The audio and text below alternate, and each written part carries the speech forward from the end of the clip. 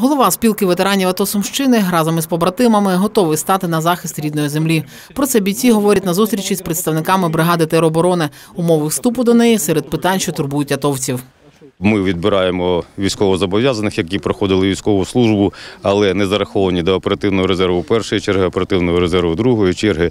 Якщо вони підходять по спеціальності, відповідають вимогам стану здоров'я, тоді ми проводимо їх відбір. І в подальшому проходження медкомісії, якщо медкомісія визнає придатними, тоді ми з ними заключаємо відповідний контракт для проходження служби у військовому резерві. Атовці запевняють, готові допомогти з огляду на свій досвід. звертатися до нас, нас долучати.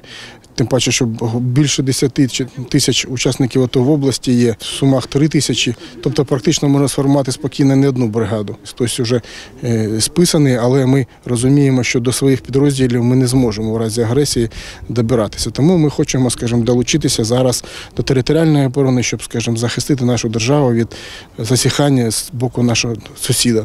Відгукнулися на заклик ветеранів вступити до лав тероборони команда ударівців Сумщини.